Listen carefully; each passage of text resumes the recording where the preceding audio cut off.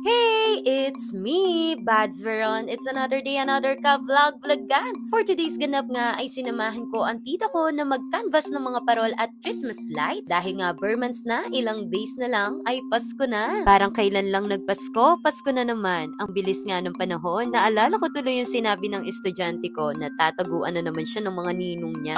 Nakakatuwa nga dahil hindi naaalis sa tradisyon nating mga Pilipino ang magsabit ng mga parol pag malapit na ang Pasko. Naalala ko nga nung nangangaroling kami, pinipili namin yung bahay na may parol at Christmas lights. Kaso may time kapag alam ng may-ari na papalapit na kami, nagiging brown out sa bahay nila.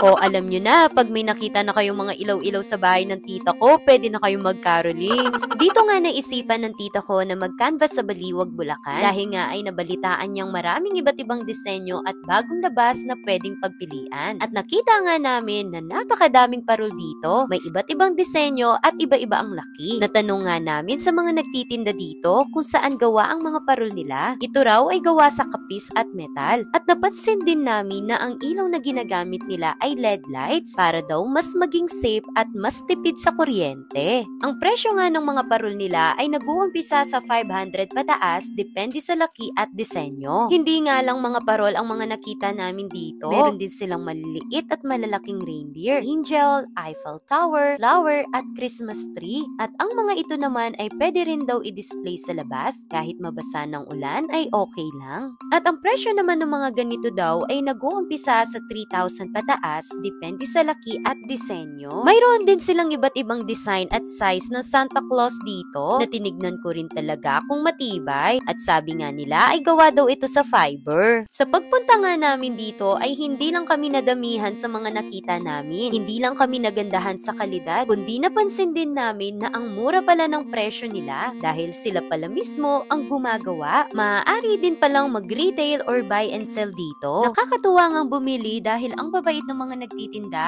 minsan ay nagbibigay pa sila ng discount at may warranty. Napakarami na ngang pagpipilian ng mga disenyo at iba't ibang size ng mga parol dito na makukuha lang sa murang halaga. Dito pala yan sa may Baliwag, Bulacan. Ang ganda nga ng pwesto nila dahil kitang-kita sa daan. Meron din silang pwesto sa may Bukawe, Pulilan at Pampanga. At nalaman ko nga na ang may-ari pala nito ay isang kapampangan na alam nyo ba na ang capital lantern or Christmas capital ng Pilipinas ay ang Pampanga. Karamihan sa atin, habang tumatanda tayo, minsan hindi na tayo na-excite sa Pasko Busy na tayo sa iba't ibang bagay, sa trabaho at mga bayarin. Parang ordinaryong araw na lang na lumilipas. Buti na lang may mga tao pa rin gumagawa at nagdi-display ng mga ganitong ilaw at parol na nagpapaalala sa atin ng Pasko. Araw ng pagmamahalan, pagbibigayan at pagsasama ng pamilya. Mga ilaw na nagbibigay kulay at liwanag sa dilim at daan. Sana, kahit tumatanda na tayo, isipin pa rin natin yung mga batang masaya at na-excite pag malapit na ang Pasko. Makita pa rin nila ang mga bahay at daan na may mga ganitong ilaw at may pamilya silang kasamang kumain sa araw ng Pasko.